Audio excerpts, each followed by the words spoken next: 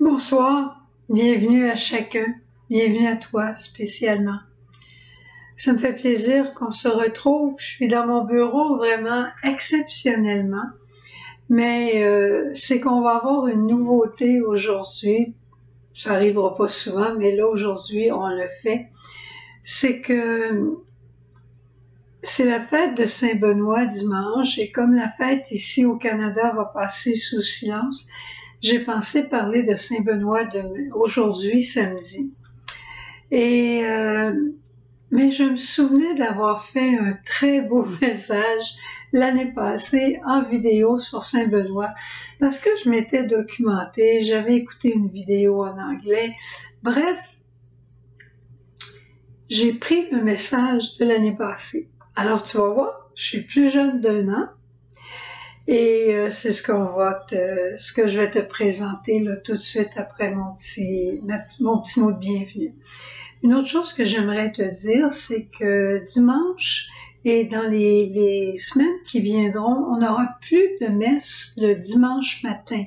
Tous les autres jours de la semaine, pas de changement, mais le dimanche matin, on n'aura plus de messe pour nous permettre d'aller en paroisse et aussi pour, euh, pour alléger un peu la tâche de Padre Ramiro. Alors, on s'en va rencontrer Saint-Benoît tout de suite. Bonjour, c'est une grande fête dans l'Église aujourd'hui que la fête de Saint-Benoît. Ce grand fondateur de l'ordre bénédictin, mais un homme aussi de la Réforme, un homme, euh, je dirais, un grand prophète de un grand prophète pour la vie spirituelle, mais aussi un grand prophète pour l'équilibre et la culture. C'est ce que je retiens des lectures et de la vidéo que j'ai écoutée sur sa vie. Il est né en 440, 480, donc c'était après la chute de l'Empire romain. On était en pleine décadence en Italie à ce moment-là. Et lui, il désirait protéger toute la culture, toute la culture des, de Socrate, de Platon, toute la, richesse aussi qu'il y avait dans l'Église, il voulait protéger tout ça tout en restant ouvert à quelque chose de nouveau. Ses parents, qui étaient fortunés, l'ont envoyé étudier à Rome. Mais là, à Rome, il était en pleine décadence et il a été, je dirais, dégoûté de ce qu'il voyait et c'était pas l'idéal de vie que lui avait. Pour lui, c'était plaire à Dieu, plaire à Dieu et à Dieu seul. Alors, ses pensées et son être profond étaient très loin de ce qu'il voyait. Alors, il a décidé de se retirer dans des cavernes à Subiaco. Et là, il est allé pour fuir le monde. Non, pas du tout. Pour se mettre à l'écoute de Dieu. Se mettre à l'écoute de Dieu, voir la pensée de Dieu devant tout ça, pour après revenir dans le monde et apporter quelque chose de nouveau. Quand on se retire dans le silence, que ce soit pour une semaine de retraite, une semaine d'ermitage, on se retire, on refait le point, on refait l'équilibre dans notre vie et après, on revient dans le monde. Alors c'est ce qu'il a fait, il est revenu, déjà se sont groupés autour de lui, il y a eu des premiers monastères, une douzaine de premiers monastères qui ont été fondés avant le Monte Cassino qui est considéré comme la maison mère. Mais on dit, est-ce que c'est vrai ou est-ce que c'est une légende? On dit que ceux qui étaient avec Benoît trouvaient sa règle tellement exigeante qu'ils ont voulu l'empoisonner. Mais lui, le sachant, il a simplement béni la nourriture et aucun mal ne lui est arrivé. C'est ce qu'on dit. Alors, il y, a des aspects très intéressants de sa règle. Des aspects, ben, tout est intéressant pour un bénédictin, mais pour nous qui sommes peut-être pas bénédictins ou bénédictines, il y a des choses merveilleuses qu'on peut garder pour notre propre vie spirituelle. Je pense entre autres à la première partie qui est l'importance de l'écoute et de l'obéissance. Pour euh, Benoît, c'était fondamental d'écouter ce que Dieu veut, de mettre sa volonté propre de côté et de choisir d'obéir.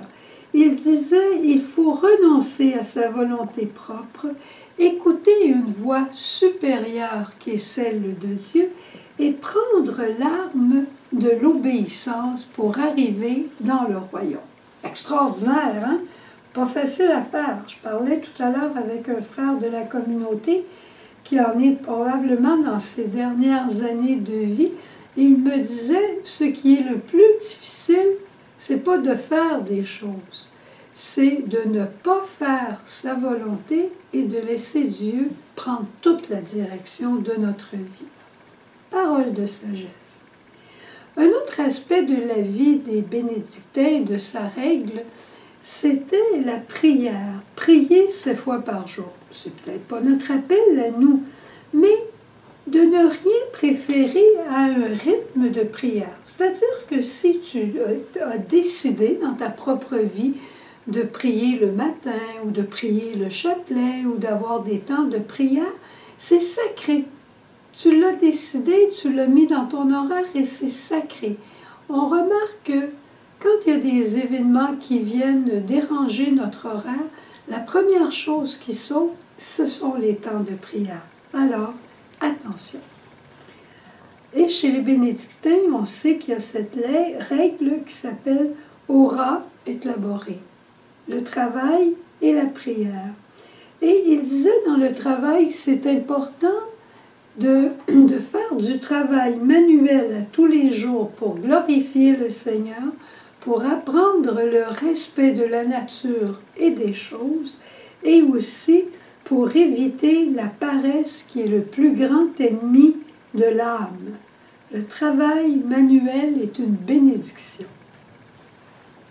Tout comme, dira-t-il, la lecture spirituelle, c'est essentiel de nourrir notre âme.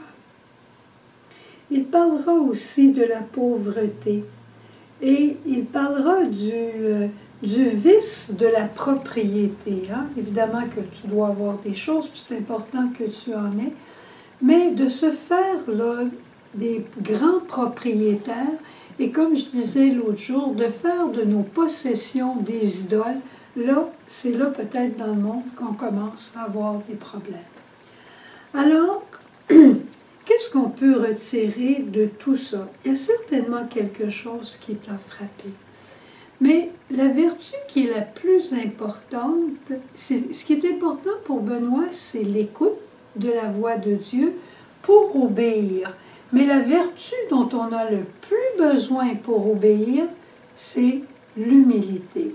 Et c'est ce qui fait qu'on voit les bénédictins, les bénédictines qui vont marcher très souvent avec la tête penchée pour se rappeler humblement qui ils sont et, croire qu'ils sont moins méritants que les autres. Pas seulement le dire, mais le croire aussi. En tout cas, si tu as une chance, tu regarderas les 12 degrés de l'humilité. C'est très intéressant. Je te laisse avec ça et je demande à Saint Benoît, pour chacun d'entre nous, pour moi aussi, de nous libérer de toute gouverne de notre vie qui serait différente du plan et du projet que Dieu a sur chacun d'entre nous. J'ai rêvé que tu m'appelais et tu m'appelais et tu as voulu me greffer sur toi pour que je marche dans tes pas.